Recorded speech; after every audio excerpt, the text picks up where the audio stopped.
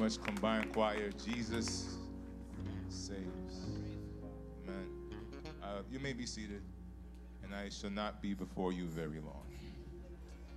Uh, just to start things off, I want to share something that happened to me two weeks ago. Uh, actually, not to me, but to one of my coworkers. She actually had a baby. Uh, her real son's name is Oliver, but the rest of the teachers and I call him a certain different name. Uh, while she was pregnant, she didn't have any names in mind for her son, so we brainstormed a couple of things like William, Evan. Of course, I prescribed Mephibosheth and Belshazzar. Uh, one teacher brought up something interesting about my coworker that led to this special name, though, that we all agreed on. Let's call this teacher who recently had a child, Stacy. She said, "Have you ever wondered that? Haven't noticed that Stacy orders the, from lunch Harlem Shake, and she orders the same side item every time? She could order a chicken sandwich, a burger, a hot dog, even, and she always has a side of cheese fries. That's it. As a grade team, we propose that his name shall be called Cheese Fry. Jokingly, of course. Two of the other teachers and I were remarking on how cute Cheese Fry looked. We got a picture of him recently and wondered what his life would be like. I wonder how Cheese Fry would get along with his older sister. I wonder how Cheese Fry will do in school. I wonder if his mother will ever tell him that his coworkers called her coworkers called him Cheese Fry. One teacher suggested, well, what if in 18 years we all go to Cheese Fry's graduation? We'd all sit in the front row and wait up for Oliver to be called up, and all of a sudden, as soon as he gets up, we're like, yeah, Cheese Fry! Woo! You did it. We're so proud of you, Cheese Fry. And he'd go back to Stacy and think, who are these strange people? Why are they calling me cheese fry? Right? As we joked about this idea, things quickly became serious though. We thought about what our lives would really look like in 18 years. Will we still be teaching at this school? Most said no. will, we, will we even still be in the profession of teaching? Will we be living in New York? Will we even be alive? As a child now, children, you don't have these concerns right now. You're curious about the different jobs that are out there. Your future is bright. You want to be doctors, scientists, police officers, firefighters, teachers, astronauts, athletes, veterinarians, pilots. That's wonderful. And I think I can speak for the church and say that if you want to achieve any of these goals, we're behind you 100%. Amen. But as you get older, you may find yourself a little less exciting, uh, excited, sorry, when you think about the future. I have all these goals. How am I going to accomplish all this? Or you may say, I have no goals at all. How am I, what am I going to do in my life? How am I going to earn money? You may even begin to second guess your dream and say, well, I wanted to be a doctor, but that's when I was six. I really didn't think it would take so much like grad school, I mean, medical school, undergrad, and paying off all these loans. I mean, I was six, and this is expensive and tough. I don't know if I can really do this. Usually, when we have these thoughts, our anxiety starts to build, and suddenly that excitement you had when you were 10, then you wanted to be 16, then you wanted to be 21, and you look back and you're like, whoa, where did the time go? Future doesn't look as bright because we don't know what the future holds. There is a verse in the Bible that talks about the importance of having vision. Proverbs 29, verse 18. Where there is no vision, the people perish. But he that keepeth the law, happy is he. Now, a common interpretation of this verse is that we need to get a vision because without one, you will perish or fail.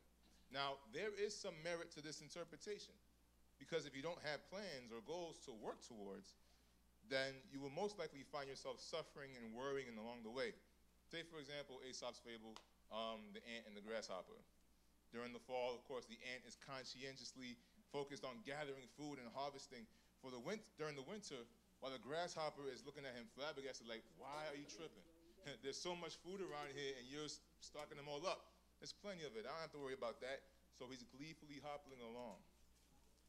So he continues to waste his time and mock the ant.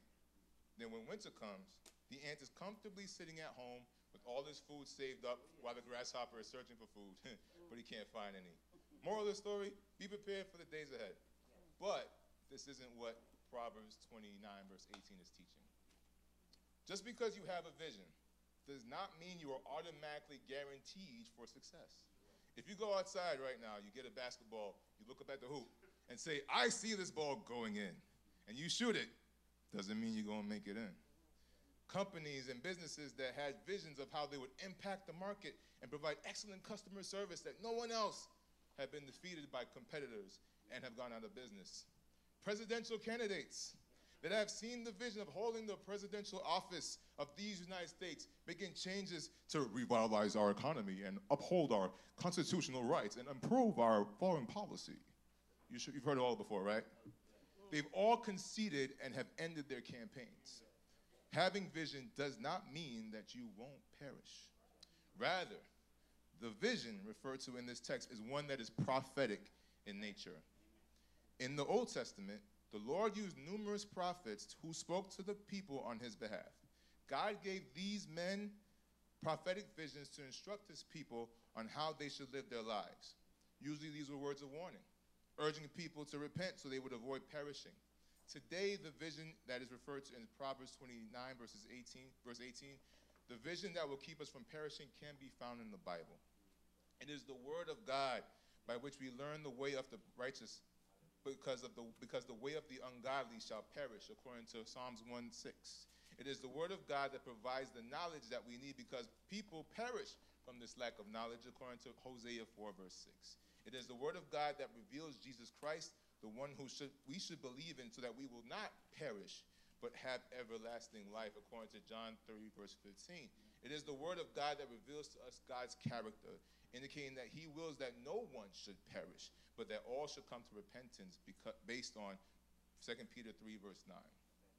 While it's important to have goals, dreams, and aspirations, these can't be sustained solely on your plans.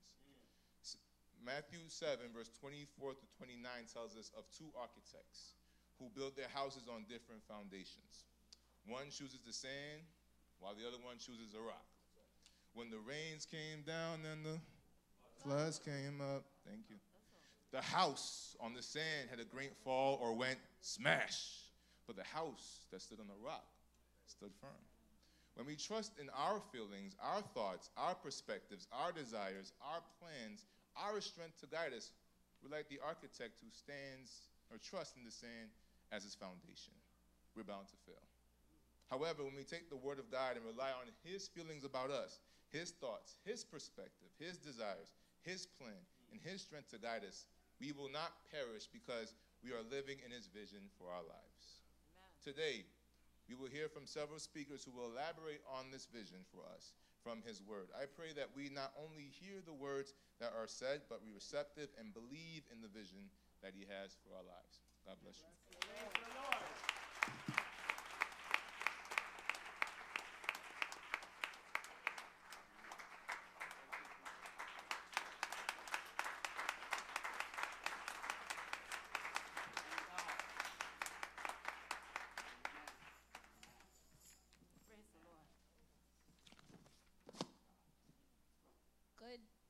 Afternoon, everyone. I must first give thanks to God, who is the head of my life. I greet my pastor, Pastor Reid, Minister Reid, all the officers, brothers and sisters, visiting friends, and the young children in the house of the Lord. The topic I, the topic I chose from the vision and doctrinal statement is We declare that God created the heaven and earth, and all things are subjected to him. We are his workmanship. We can break this down into three sections. God created the heaven and earth, all things are subject to him, and we are his workmanship. When I first looked at this topic, I thought, hey, this won't be too hard. I was wrong. I'll explain. The first part of the topic comes from Genesis 1, verse 1. We should all know this, Christians, yes. Which says, In the beginning, God created the heaven and the earth. But what I realized about this statement is that this 10 word statement is one of the most challenging concepts that confronts the minds of the past, present, and I do not doubt that the future minds will question this as well. It is so simple, yet so hard for some to believe. And why? Well, because of science or what people think is science. Some people believe in the Big Bang Theory, where there is this belief that there was a sudden explosion and the universe just came to be. But don't you think to say the universe just happened requires more faith than to believe that the Almighty God is behind it all? Amen. Others say God got it started and the rest just evolved over the, the many, many years. That brings us to the theory of evolution, with the famous theory that we humans evolved from monkeys. As Bible believing Christians, we must reject theistic evolution. Let me explain what that is. So, theistic evolution is where we give a little bit of credit to God for starting it off, but then we believe that we just evolved from what um, to what we are today, and God had no part in what we became today. So, we must reject this theistic evolution because it denies the biblical ev- revelation that ascribes to God an active role in all aspects of creation. In other words, God did not just start it off. He plays an active role in what is created today and everything that is to be created. Amen. Now, almost every religion has its own story to explain how the world came to be. Almost every scientist has an opinion on the origin of the universe. But only the Bible shows the one, um, the one almighty and supreme God creating the earth out of his great love and giving all people a special place in it. But why create the universe? God created the heavens and the earth as a manifestation of his glory, majesty, and power. God created the heavens and the earth in order to receive back the glory and honor due him. God created the earth in order to provide a place where his purpose and goals for humankind might be fulfilled. God created Adam and Eve, and this is our species now, in his own image so that he could have a loving personal relationship for all eternity. God didn't have to create the universe but he chose to. And yet, we have a world full of doubters. For the children in the room, let me help you to explain, help you to understand what I'm talking about. So let's say you did all the chores in the house, you took out the trash, you mopped the floors, you cleaned the dirty toilet, but then someone else goes and takes all the credit. It's a little bit like that, where God did all the work, He created the, the whole universe, and science tried to so hard to deny God and take the credit. Just to clarify, I'm, I'm just generalizing. I'm not saying all science is bad, so don't go to your teachers and tell them that. I said, I did not. I am for science when it is curing diseases and doing great things for our planet. But when science decides to come at our belief, we must stand firm in what we believe. I do because there is nobody that is going to tell me that I came from a monkey. You can try and convince me, but you will fail. Because I have a belief that I am special because, like all of you, I am made in the image and likeness of God.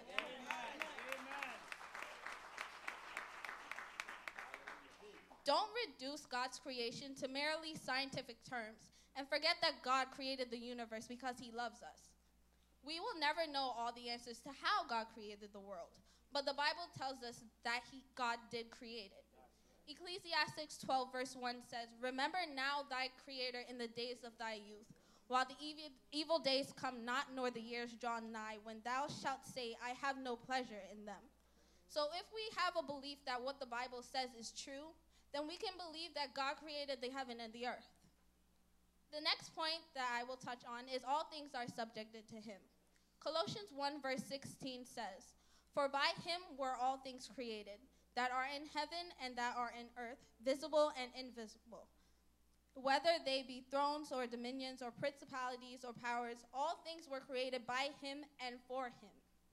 By definition, subjected means being under dominion, rule, or authority as of a sovereign state or some governing power owing allegiance or obedience. Now, don't mistake this as Christians being slaves to God, because that's not it. Because of the mere fact that God gave us free will, He gave us the free will to choose right from wrong and to believe or to not believe. But we are under His dominion, for He is our Creator. Like a sports team answers to, a, to their coach, or students answer to their teacher or principal, or employees answer to their boss. Christians will answer to God on the day of judgment. He created us for a purpose, and that is to praise Him. But He will not force anyone to do so. God didn't have to create us, but He did. He didn't have to make me, but He did. And for that, I believe that I must let His will and not my will be done. Amen. The last point is we are His workmanship. Ephesians 2, verse 10 says, For we are his workmanship, created in Christ Jesus unto good works, which God hath before ordained that we should walk in them. The word workmanship can also be looked at as masterpiece. God is working out in our lives a tremendous exhibition of his wisdom, his power, his love, his life, his character, his peace, and his joy. He's teaching us, training us, bringing us along, applying the paint in exactly the right places, producing a marvelous masterpiece to put on display. This is this is to result in good works, kindness, love, mercy, compassion, help one another, meet, meeting one another's needs, um, found in the Beatitudes or as we follow the Ten Commandments. Paul says that God has prepared these works beforehand. Jeremiah 29, verse 11 says, For I know the thoughts that I think toward you, saith the Lord, thoughts of peace and not of evil, to give you an expected end. God is working on us. He is he's working on me. And though we may go astray, he will never leave us nor forsake us. So what must we do? Well, I'll tell you what I am going to do. Well, in a world that is getting more scientific with each coming day, I must stand firm in what I believe and not alter or change what I believe due to some new scientific discovery. I encourage you all to do the same. So, as in terms of what I believe, I believe that God created the heaven and the earth. I believe that as his creations, we are subjected to him. And I believe that we are his workmanship, made in his image and likeness. Thank you.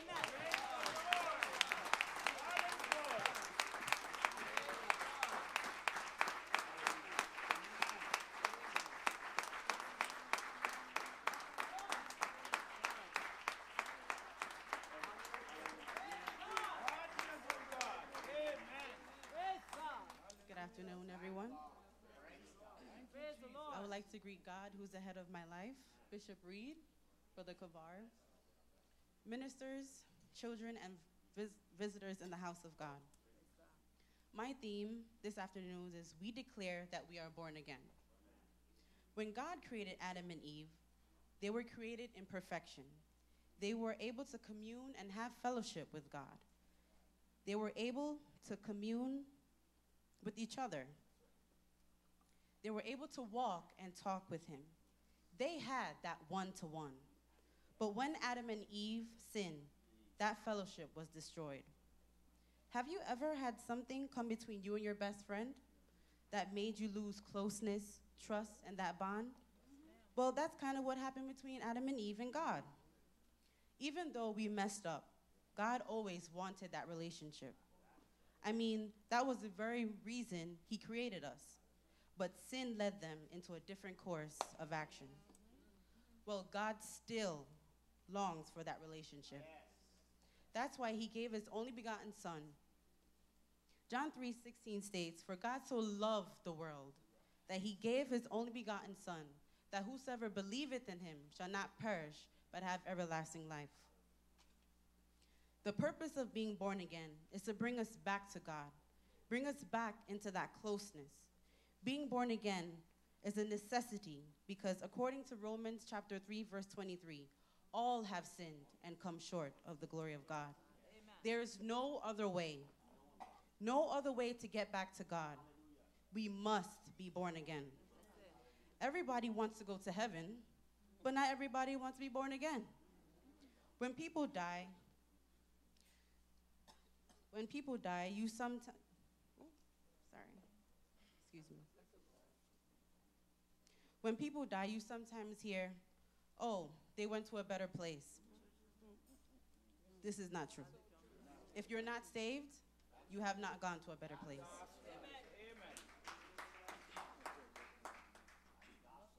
Because I am born again, I look at life from a different perspective. Because I am born again, I think about relationships and friendships differently. Even to the point of how I work and treat patients is because I am born again. God is the reason for this change. He has changed my life for the better. This society is set up to make Christians keep their mouth closed. But now is the time to declare. I propose to share this biblical truth with others by being the message. I want to be the message so when someone looks at me, they can say, There goes a child of God, through my demeanor and speech. I also want to study to show myself approved so that I can defend God's word with confidence. I leave you with this scripture from Matthew chapter 28, verse 19 and 20. Therefore, go and make disciples of all nations, baptizing them in the name of the Father, the Son, and the Holy Ghost, and teaching them to obey everything I've commanded you. And surely I am with you always to the very end of age. I declare that I am born again. Are you born again? If you are not, I implore you to believe and receive. God bless you.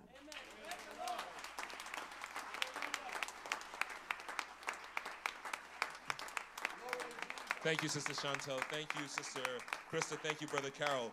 We've just answered three of the most important questions of human existence Who am I? Why am I here? And where am I going? Who am I? I am God's workmanship. Where am I going? Depends. Are you born again? right? And why am I here? I'm here to show forth the glory of the one who has made me. How do I know God's will? His will is found in His word. And when I have His word, then my, my, my vision will lead me to eternal life. But my vision, my man made vision, I can hold it and I can still perish. That's awesome. That's, that's great revelation. Please put your hands together for the past three speakers. It's awesome. Praise team is going to lead us in the singing of I'm Yours, Lord, after which we'll have the next three speakers, Sister Maurice and sis, the next two speakers, I'm sorry, Sister Maurice and Sister Tishai. I'm Yours, Lord.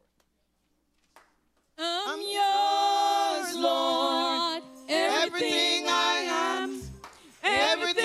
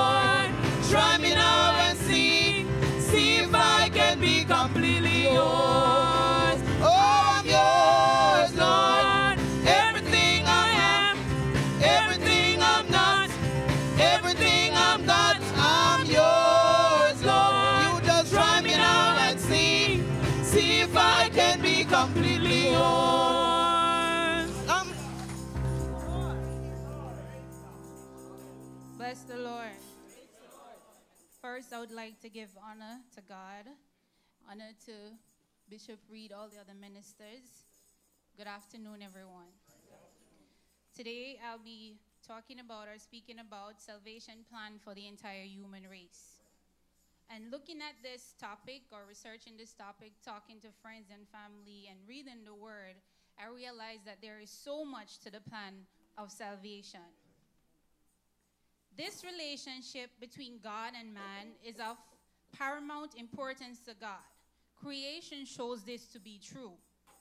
The first thing God gave man was his image and likeness, because that was the first thing God wanted man to have. The second thing God did was to place man in his presence, which is the meaning in the Hebrew language of the word Eden. Therefore, God's greatest desire was that man act like him and live with him. The word image means resemblance or exact likeness. Therefore, to be made in God's image means that man resembles God, man resembles God and is an exact. In the scriptures, the word Eden refers to the place of God's presence. This can be found in Isaiah 51, verse 3, or Ezekiel 28, verses 13. So God gave man his nature and then put him in his presence. These were God's priorities.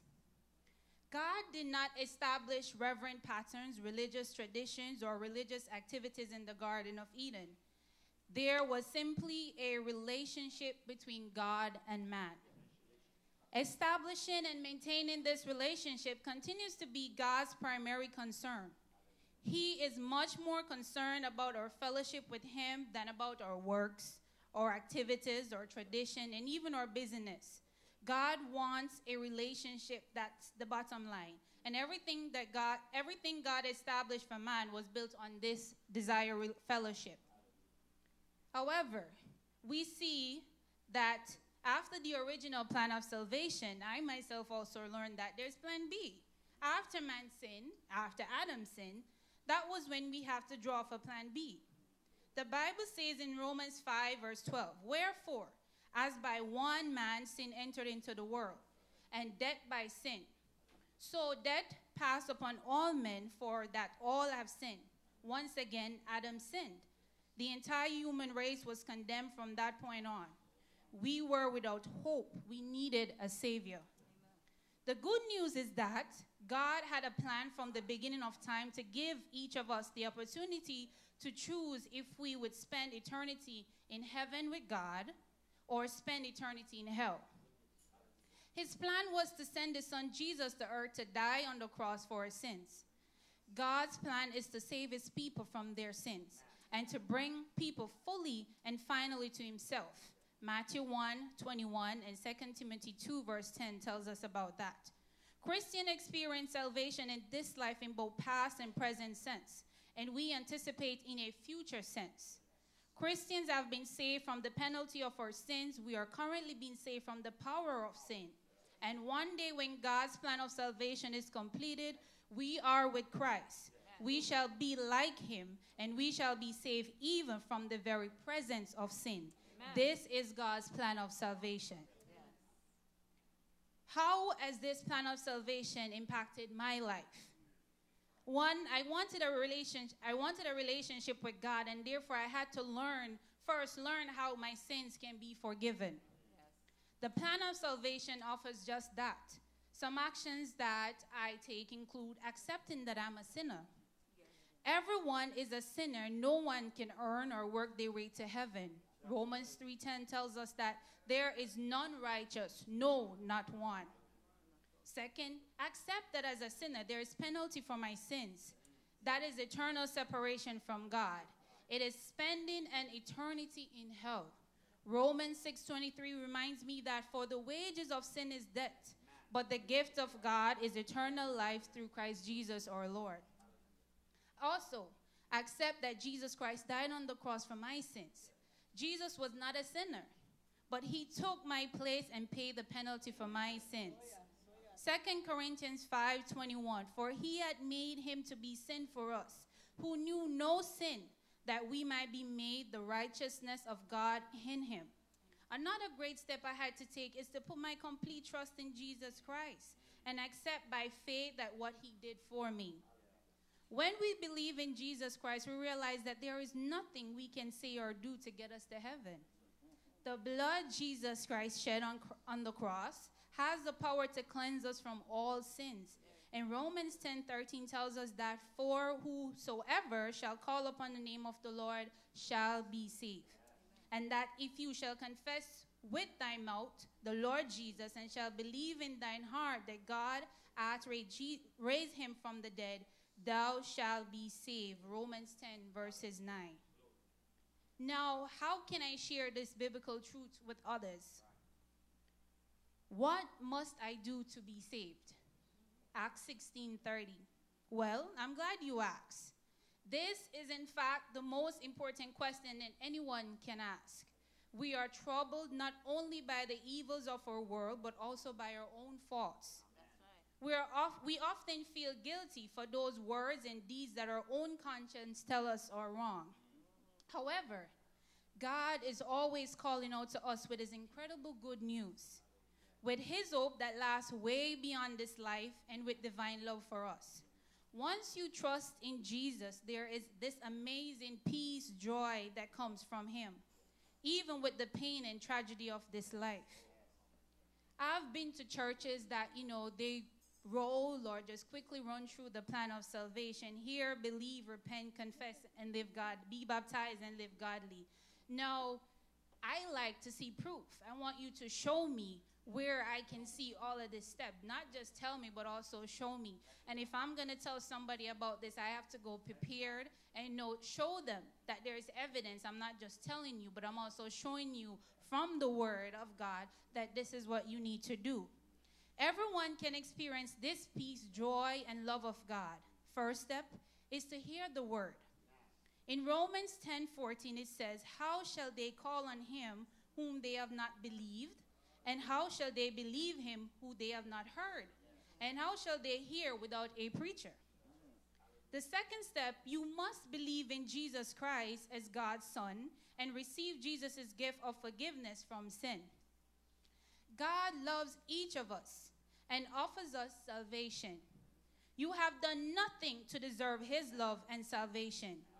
God wants us wants to save us. So he sent his son Jesus to die on the cross hereby guaranteeing salvation for all who would repent of their sins and believe in him.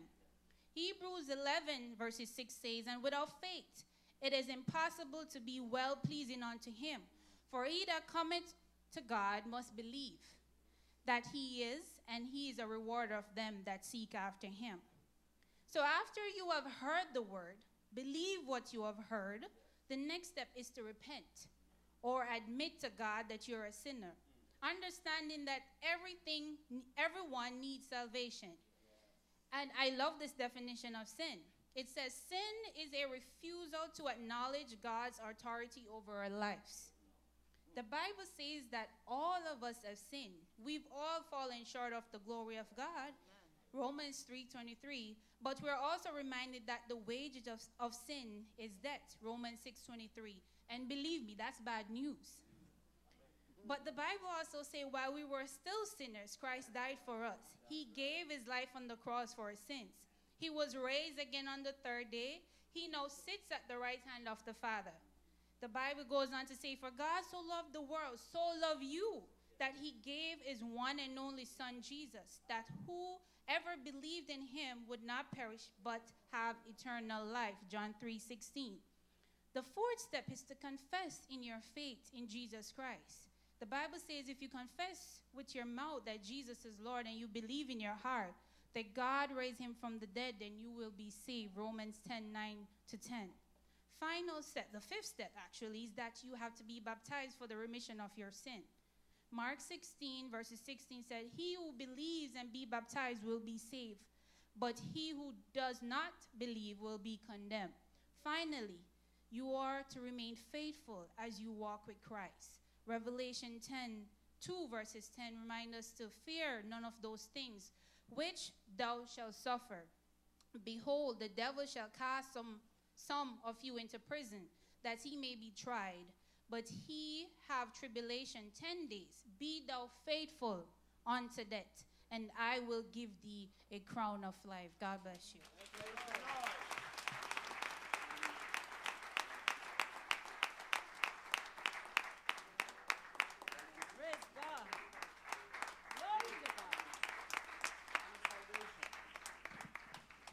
Praise the Lord.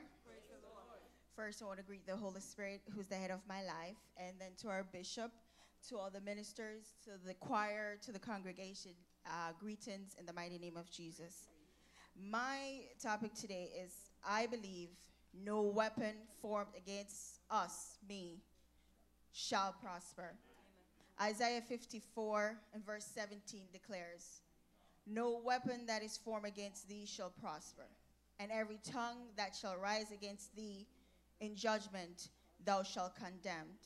This is the heritage of the servants of the Lord, and their righteousness is of me, saith the Lord. I'll share a story with you. This is one of my mom's favorite scripture. Every single day, she would always repeat this. I'm like, I didn't understand what it meant at the time as a young girl growing up in Jamaica she would come into the room at night and she anything that happened to us she would be like no weapon formed against my children shall prosper. Nothing. No she would always say it. And i thought she went crazy when she actually painted the scripture on the front of the house. Everyone in the neighborhood was like your mother is going crazy. Why would she put that up? But we did not have that eyesight. We had no idea what it meant. So we were just looking at it as her being crazy. You know, I thought, like many, she definitely had lost her mind. Yes, we lived in a tough neighborhood, but they would never hurt us. We weren't a part of a gang, and I almost never got into fight with anyone. But I doubt this scripture was only speaking of those weapons that we're readily, um, that are able to readily identify, like a gun or a knife. I thought that's what weapon meant. That's the only thing, weapons. But 2 Corinthians 10, 3 to 4 tell us, For though we walk in flesh, we do not war after the flesh. And that the weapons of our warfare are not carnal, but mighty through God to pulling down of strongholds. I believe that as children of God, we're constantly under attack. The devil has an arsenal of weapons he will use to try and hinder the work of our Father. And some of these weapons are not seen without seeking the Lord diligently and being open with him about our situation. Weapons, fear, that's a weapon. Rebe- rebellion, that's a weapon. Pride, that's a weapon. Fleshly desires, weapon. Anything that can go against the work of the Lord. While we may be under attack by the enemy, we should not be afraid because Ephesians 6 and verse 13 tells us to put on the old the whole armor of God. What is the whole armor of God? What does it look like? This is praying, reading the word of God, fasting and praise. And for us not to worry about what the devil will try to do next. Why? We are protected. We are covered. And the devil does not have the authority to harm us. Praise the Lord. This scripture has made an impact on my life. I have learned that I cannot have a relationship without recip- reciprocity, which is I have a role to play, which is to spend more time praying, fasting, and reading the Word of God, and to rest assured that He will take care of me. He will let no harm come to me if I obey His Word. And that I should not walk away from His love and protection because the devil is always on the prowl. He's always there. He's just ready to grab us as soon as we walk away from the presence of the Lord. How, how do I propose to share this biblical truth with others with whom I interact in the future? I believe that when I lived in sin, I was not guaranteed this coverage. Now that I have not now I don't have to worry about who is going to fight for me and who's going to protect me from my enemies. And I'll close with this scripture 2 Samuel 22 from 3 to 4. The God of my rock, in him will I trust. He is my shield and the horn of my salvation, my high tower and my refuge, my Savior. Thou hast saved me from violence. I will call on the Lord who is worthy to be praised. So shall I be saved from my enemies. God bless you.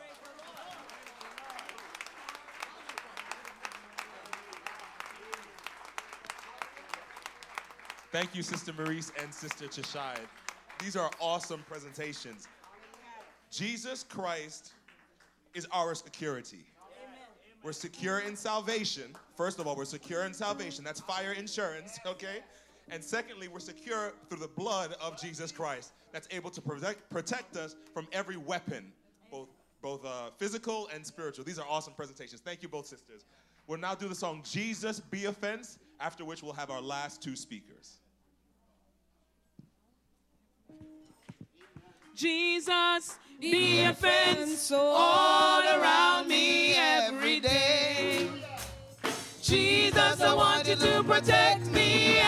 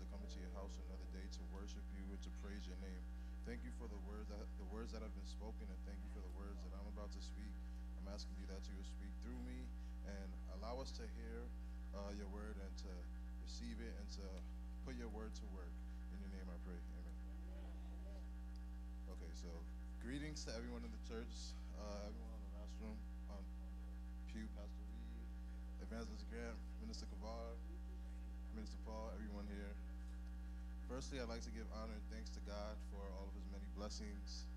I'd also like to give thanks for the privilege of standing here today to share with you all. I will very briefly speak on the topic, they shall be the head and not the tail.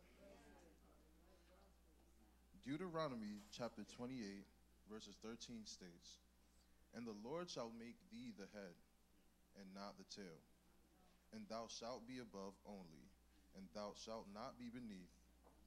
If that thou hearken unto the commandments of the Lord thy God, which I command thee this day to observe and to do them. It is very important that we internalize this declaration because this is a very self empowering and authoritative statement. What does it mean to be the head and not the tail? This statement is saying that with God's help, we are confident that we are equipped to excel at whatever task is put to us, put in front of us, as long as we are walking in accordance to God's word. The statement implies that God wants us to be prosperous and that we will be that we will be prosperous when we live under his terms. How do we know this? We see proof of this in Genesis chapter 12, verses 1 to 3, which reads, now the Lord had said unto Abram, Get thee out of thy country, and from thy kindred, and from thy father's house, unto a land that I will show thee. And I will make of thee a great nation, and I will bless thee, and make thy name great, and thou shalt be a blessing. I will bless them that bless thee, and curse him that curseth thee.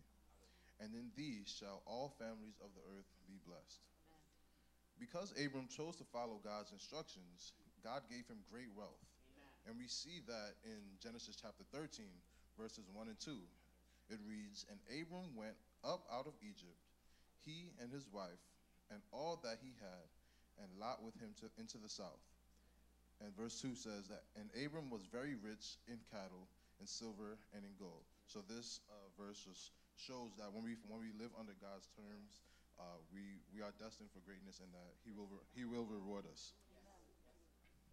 God has definitely revealed this truth to me through my own personal life experiences. I thank God for my two parents and wonderful family who have always reminded me to prepare and pray before taking on any challenge. Whether it be in the classroom or on my high school football field before a game, I always prayed. I'm proud to say that I've always been among the top scholars in my class and among the best athletes. And it's no coincidence. I'm sure that it was because I chose to put God first. How would I go about? Oh, oh, sorry. I'm sure that it was because I put God first. How would I go about telling others that about being the head and not the tail? I would do this by emphasizing the abundance of peace and comfort that I feel in situations where other people would be stressed or frustrated. Because of the benefits of, because I've seen the benefits of living under godly terms firsthand, it is my obligation to spread the news to, to, to both people I know and people that I do not know yet. I will tell a person that I do not know of specific examples of how I've seen God allow some of my close friends and family members to prosper financially, spiritually, mentally, and mentally because of their decisions to sub- submit themselves to God. And I believe that once we submit ourselves to the will of God, He will bless us bountifully as He did Abram. Thank you, and God bless.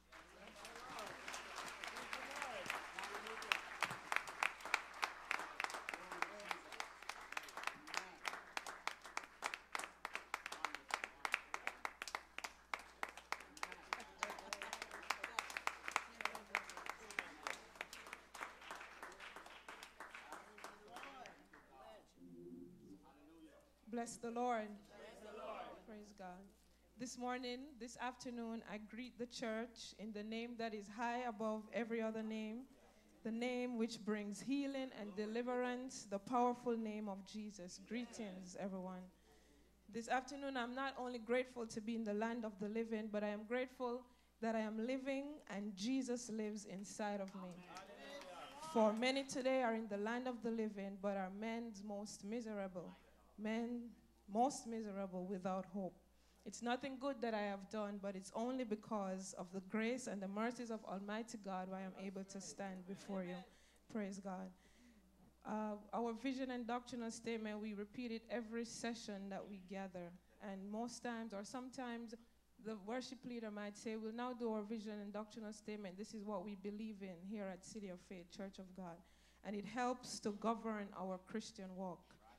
In the name of Jesus Christ, we proclaim and herald the vision of City of Faith, Church of God. We will preach the gospel, practice and teach this sound doctrine of justification.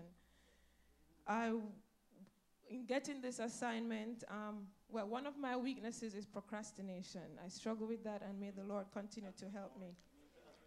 So I got the assignment, and I took a long time to respond, and at least three topics I chose. The first three, somebody already took it. And so I ended up with the topic justification. It wasn't my first pick, but after dissecting this word, I was happy I got this topic. It spoke directly to me, and I could definitely relate. What does justification mean? We use it interchangeably with the word vindicate. It means to be declared righteous, the moment that you were made righteous in the eyes of God. The law condemns us, but through Jesus Christ, we are justified. Sin is universal. We were not only born in sin and then immediately converted after birth, but we actually made choices which were sinful. In our nature, we have committed transgressions which makes us liable to condemnation. If you, O Lord, kept a record of our sins, O Lord, who could stand? But you, but with you there is forgiveness. Psalm 130, verse 3 to 4. But God is the only God who pardons sin and forgives the transgression of the remnant of his inheritance, and he delights to show mercy. Micah chapter 7, verse 18 through to 20. We are caught up in the consequence of Adam's sin. Now we are all sinners. Just as through the disobedience of one man, the men that many were made right, made sinners, so also through the obedience of one man that many will be made righteous. Romans 5, verse 19. He, Jesus, who knew no sin, became sin on our behalf that we might become the righteousness of God. We had no merit on salvation, no claim at all, for it was while we were still sinners that Christ died for us. But the effect of Christ's death and resurrection is that now all believers, once who were, who were once condemned to die, are made righteous. We are accepted by God as righteous. How can a sinful person be just before a holy God? It continues to be the debate for many. Justification cannot be poured down a saint's life, but it comes when the saint believes, believes that Jesus believes Jesus' sacrifice covers all our sins. How can a righteous God even consider us? We can't fathom it, but we believe it. Believe is an action word. When we believe something, we have faith and confidence in it. We accept it. We know it is true. Romans 5 and verse 1 tells us that it is through faith that we have been justified. It's not by our own efforts, but by faith. How does this impact me? I am grateful for the sound doctrine of justification. Yes, I grew up in a Christian home, grew up in the church, but I had my share of failures. And so I too needed to be justified. I am grateful for the day that the Lord opened the eyes of my heart to the revelation of the truth of this salvation. Because I have confessed all my sins to the Lord, because I have repented of them all, because I do my utmost best to resist the devil and his devices and to live above a lifestyle of sin, today I stand before you justified. I have sinned many times, but because of the blood of Jesus, because of my faith in him, today I stand before you as if I have never sinned. As far as the east is from the west, so far has he removed our transgressions from us. Psalm 103, verse 12. I, even I, am he who blots out your transgressions for my own sake and remember your sins no more. Isaiah 43 and verse 25. It doesn't matter if you haven't let me loose, but I stand before you today and I'm free. You might just be reflecting on all my failures, but I delight greatly in the Lord. My soul rejoices in my God, for he has clothed me with garments of salvation, and he had, has arrayed me in a robe of his righteousness. As the bridegroom adorns his head like a priest, and as the bride adorns herself with her jewels. Isaiah 61 and verse 10.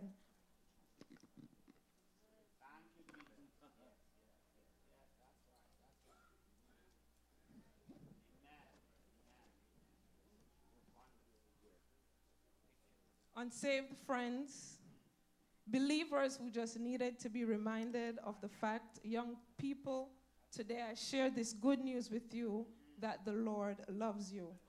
Today, if you're a sinner, whatever sin you have committed, there is a Savior in the house. He loves even what you consider to be the ugly side of you. He wants to adorn you with his robe of righteousness. Jesus' blood can make the vilest sinner clean. All it takes is faith to believe. Do you believe?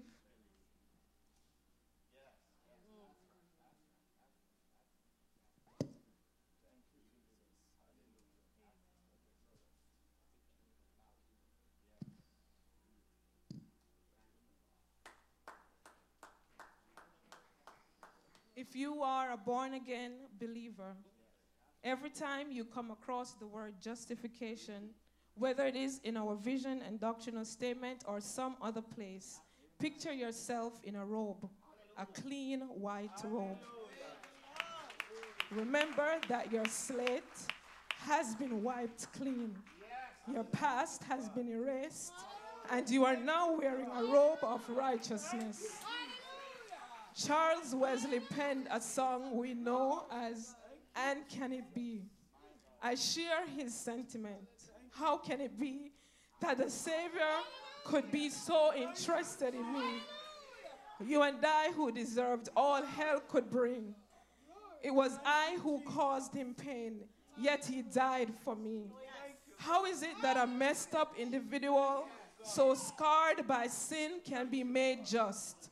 It took a miracle, amazing love for God so loved the world that he gave his only begotten Son, that whoever believes in him shall not perish, but have eternal life. God bless you.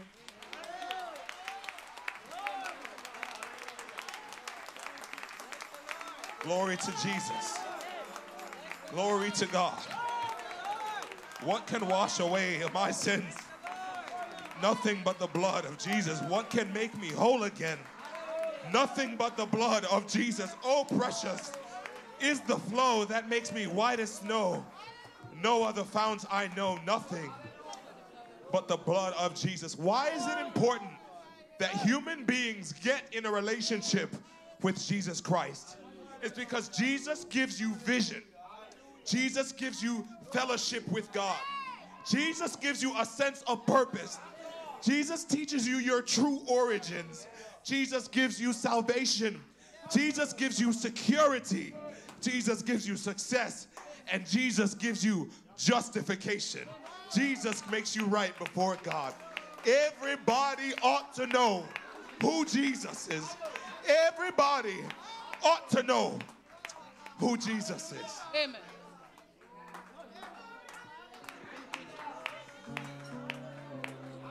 Everybody ought to know. Everybody ought to know.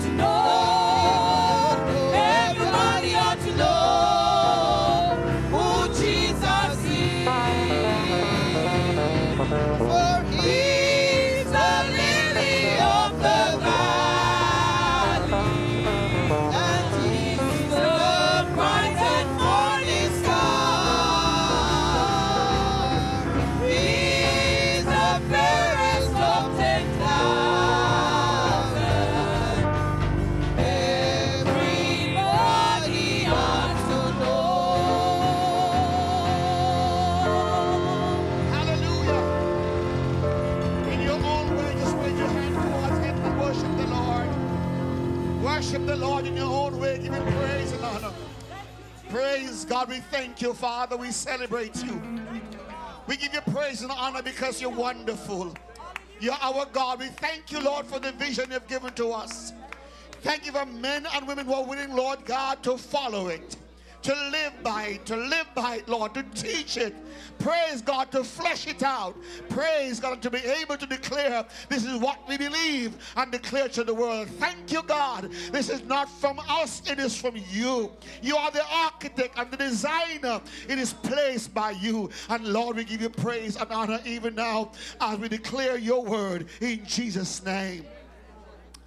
Praise God.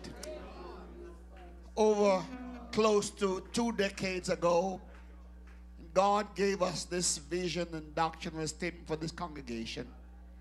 It was strange to some people at the time. And some people criticize. It takes up too much time. It is lending this service. It is doing all kinds of. Some even dare to say it's man made. The devil's a liar. But if you take time out to dig this word of God, and every time you repeat this truth of God, it sanctifies deeper and deeper in your heart. And there are persons who, because of their lack of understanding of what God is saying, they, they, they criticize it. But I want you to understand today that when I sat here, I, I, said, I said to myself, it's like the Constitution. That God gave to the founding fathers a Constitution. And scholars, lawyers come afterwards and they would spend time to go through and find the nuggets of truth. Some things that I saw that was lifted here from this today. When it was given to us, I didn't see them. But God has given us these wonderful minds. These students, children of God, were able now to put them in practice. May I say to you, every time it has been read, read it. Read it out loud. Because if it's not for you, it's for your children, for your children's children. And you're covenanting over your own life. Praise God. When you say things like, no weapon formed against thee shall prosper. When you say, I believe in justification. When you say, I support the vision. When you speak these things, you're speaking them in the atmosphere, and demons tremble. No wonder why some people can't even say it. Because it brings you to another level, you see. But I'm thankful to God for those who will take time to study it, to know it, to commit it to memory, and say, This is how I want to live my life. I've, I've life without a creed, without a vision and an aim, will be no life at all. You have to have something that you're aiming for. And that's why today I'm happy for Minister Reid. God bless her as she thought about this idea of letting, letting the young people, letting the young people just, just take this and dig it and just bring it forth today. Happy for those who volunteer because it's a voluntary choice. And tonight we're going to even dig further. We're going to hear further. But I want to ask you a question because the gospel has been preached in so many ways. Is there anybody here who is not saved? You come and you hear these young people talking and talking and talking, but yet you have not given your heart to God. The wages of sin is death, but the gift of God is eternal life. Abraham's blessing cannot be yours. You cannot faithfully covenant to be the head unless you're walking in God's favor.